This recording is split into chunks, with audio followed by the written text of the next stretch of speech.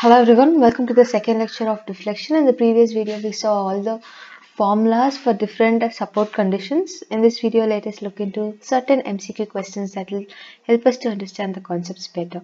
So let's get started. And before we start, I would really appreciate it if you could smash that like button, drop me a comment and share this free program with anyone who might need it. So the first question is a simply supported beam with width B okay and depth D carries a central load W. Well simply supported beam carries a central load W and undergoes deflection at the center. If the width and depth are interchanged the deflection at the center of the beam would attain the value what? So delta 1 for the section looks like this. For delta 2 your section looks something like this. This becomes t this becomes b. In this case what will be our deflection they are asking so what is the deflection formula for this? Deflection is equal to wl cube divided by 48 ei so from this we can see when uh, the section properties are interchanged. Only i will change. The other things won't change.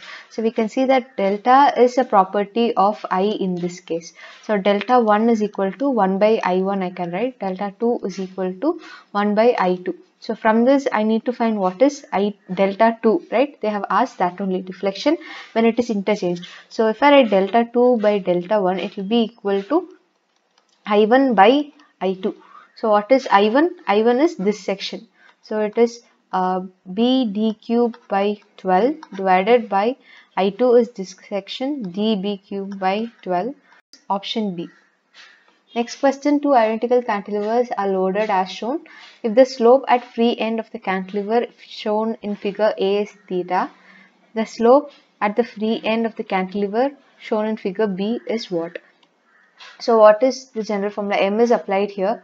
So the general formula is ML divided by, for theta it is ML by uh.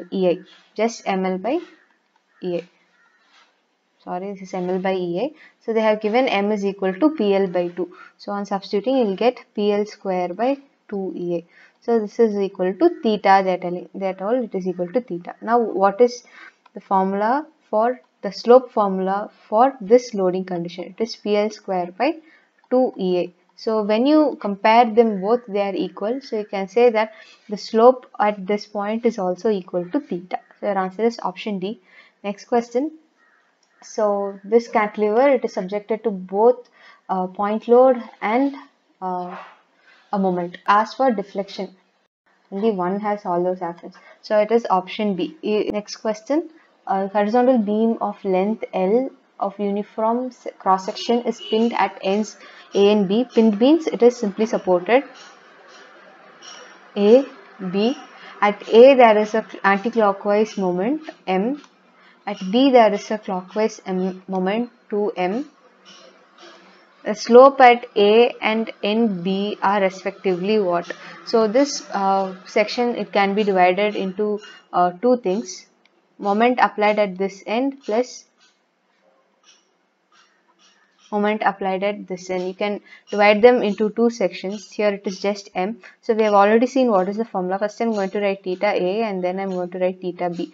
So if I take theta a for uh, this thing if I take this is A this is B if I'm going to take uh, for this loading condition my theta A will be moment is present at this side therefore uh, here the moment will be more. So it is M L divided by it would have been uh, 3 EI whereas at theta B it will be M divided we are only looking at this condition not at this condition. For this applied moment at A it will be this much at B it will be ML divided by 6 EI now, uh, if you come to uh, this loading diagram, theta A will be, uh, since it is plus, I'm going to take plus here. Since A will be, A is at the farther end, therefore it will be less. It will be ML divided by, uh, so it will be 6 EA. So here M is not just M, it is 2M, so I'll be writing 2M. Plus here it will be 2ML divided by 3 EA. So on doing so, I can see that so this is equal to 2 ml by 3 EI. So your answer is option D. To option D. Next question, a cantilever beam of length L carries an UDL W till midspan. What is the deflection at the free end? So we have already seen this in the previous video. It is equal to uh, 7W L power 4 divided by 384 EI. So the answer is option D. Option B. Next is a cantilever beam of length L is subjected to a concentrated load at P at the free end what is the deflection at the center of the beam? So uh, here another concept I have to tell is uh, if a load is acting here and then again a load is acting here. So in this case they're asking you to find the deflection of this point and in this case they're asking you to find the deflection of this point. They will both be same uh, the deflection at this point due to load at the free end will be equal to the deflection at the free end due to load at this specific point.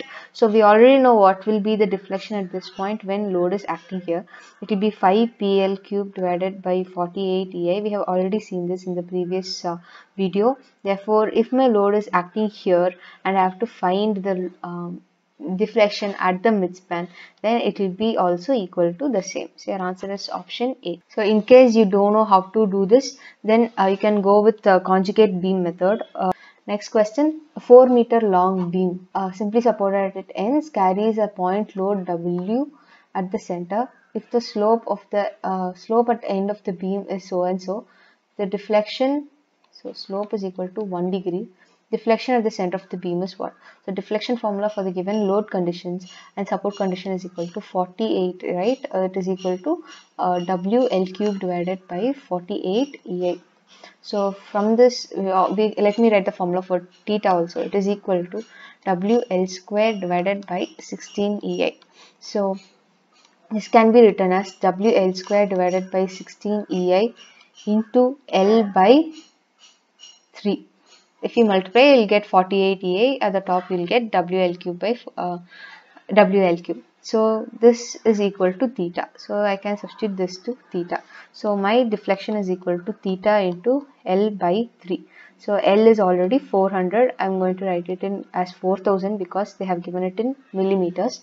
So theta they have given it is 1 degree. So here I have to uh, mention another formula which is equal to pi radians is equal to 180 degree.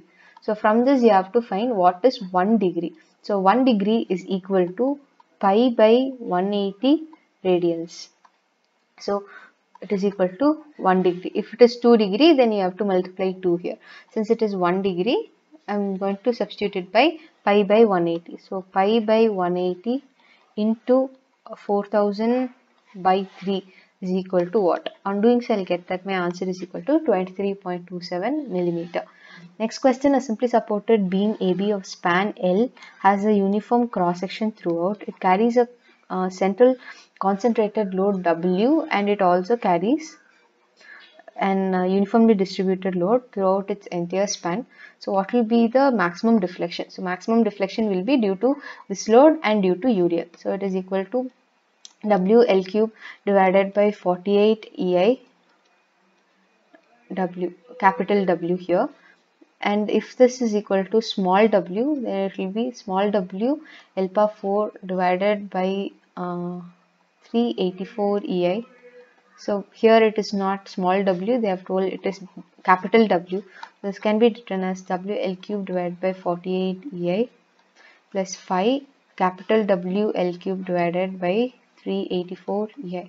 So this is 48 uh, into 8 is uh, 384 so I can write that it is equal to 8 plus 15 of WL cube by 384 EI so it is equal to 13 your answer is option B. Next question. A cantilever beam of span L of uniform rigidity E I is loaded with an upward force W at midpoint and downward force P at free end. What is the deflection at the free end? Uh, the deflection at the free end will be 0 if. So now we have to um, equate what will be the deflection at the free end due to this load? And this uh, we have to tell that it will be equal and find out what is the value of w for it. They have asked what is the value of w. So for this point load it will be the deflection the upward deflection will be equal to w uh, l cube divided by 48 ei into 5 that is in the previous video itself we have seen the formula which will be equal to the deflection due to this will be PL cube divided by 3EA. So EA, will get cancelled. So from this I can say that this is also will get cancelled. This will be 16. So from this I can say W is equal to 16 by 5 into P. Your answer is option C. Next is a cantilever is shown in figure. Deflection uh, at C due to couple applied at B is equal to what? Deflection at C is equal to deflection at B plus theta b into the length involved. Here the length involved is L. So we have to do that. Uh, in the formula that we have discussed, we saw that this distance was L by 2. Therefore, uh, that formula cannot be used since it is L here. So what is my uh, deflection at B? Deflection at B is equal to um, ML divided by 2EA because the length is also L plus uh, what is the slope there? ML um, by EA that is the slope at B. So it is ML by EI into L. Sorry, it is ML square here. So this will become ML square by 2 EI plus ML square by EI should be equal to 3 by 2 ml square by EA. Your answer is option C. So with this we have seen 10 questions. We'll see you guys in the next video. Bye.